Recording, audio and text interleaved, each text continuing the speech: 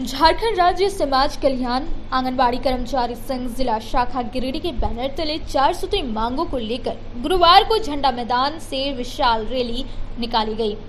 इस रैली में राज्य भर की 2000 सेविका, सहायिका, बहन शामिल हुई। अपनी मांगों को लेकर सहियाओं ने आवाज़ को बुलंद करते हुए राज्य सरकार के खिलाफ आक्रोश प्रदर्शन किया। Rally Tower Chowk, Kalibari Chowk, Padam Chowk, railway station, Gandhi Chowk, Bada Chowk Hutti बाज़ार होते हुए बस स्टैंड से बढ़कर पुनः झंडा मैदान पहुँची।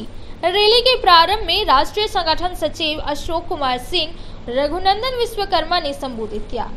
श्री सिंह ने संबोधित करते हुए कहा कि झारखंड के वर्तमान परिवेश में शिक्षा, चिकित्सा, निर्वाचन, पंचायत, सामाजिक योजना का कार्य सरकार मात्र सहायिका को पाँच हज़ार एवं सेविका को दस हज़ार चौबीस घंटे कार्य कराकर भुगतान करती है।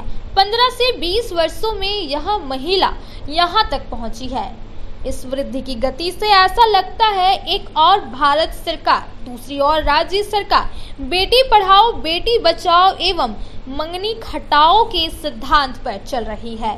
झारखंड सरकार को तत्काल न्यूनतम मजदूरी के आधार पर मानदेय निर्धारित करते हुए प्राथमिक शिक्षकों के पदों पर असीन करना चाहिए। जिला मंत्री अंशुलता स्वरूप ने कहा कि सरकार आंगनबाड़ी सेविका सहायिका का कत्र नहीं करती है तो भविष्य में मांगों की प्राप्ति तक आंदोलन जारी रहेगा।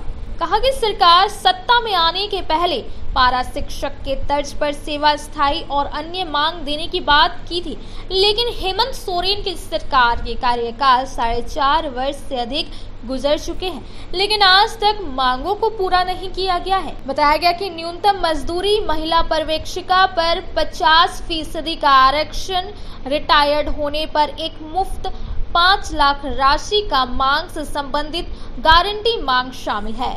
सभा में संघ की सितारा प्रवीण, सरिता देवी, दिव्या देवी, तनुजा कुमारी, सविता देवी, प्रीति कुमारी, अनीता कुमारी, जयंती देवी, जयंती सितारा, बानो, वर्षा कुमारी, अपनी कुमारी, बबीता कुमारी, सुगनी देवी, पिंकी वर्मा, किरण देवी, नीलम देवी डिम्पल देवी, कांति देवी, मौसमी बेसरा, सुशीला नाग, संध्या बेसरा जसोदा देवी, मिथिला कुमारी, सुषमा मरांडी, राजमणि सोरेन, सोनी कुमारी, मदन भगत, संजय वर्मा, मनोज यादव, विनोद कुमार वर्मा समेत कई महिलाएँ शामिल थी।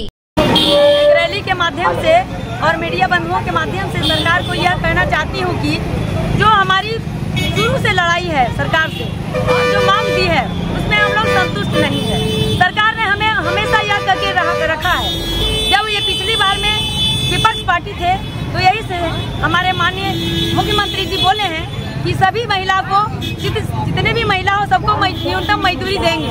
आज सभी महिलाओं को सरकार ने सम्मान दिया कुछ न कुछ दिया। हम भी सरकार से उम्मीद लगा के बैठे हैं और उनके आप लोगों के माध्यम से उन, उन, उनको यह जताना चाहती हूँ कि हमारी भी मांग पूरी करें हमें एक सम्मान दिए। हमेशा वो बोल के रखे थे हमें कि हम पारा टीचर को जिस तरह जिसके आधार से कर रहे हैं वही आधार से हम सेविका बहनों को भी करेंगे। इस यही सब मांगों को लेकर सबसे पहले मेरी चार सूत्री मांगे हैं।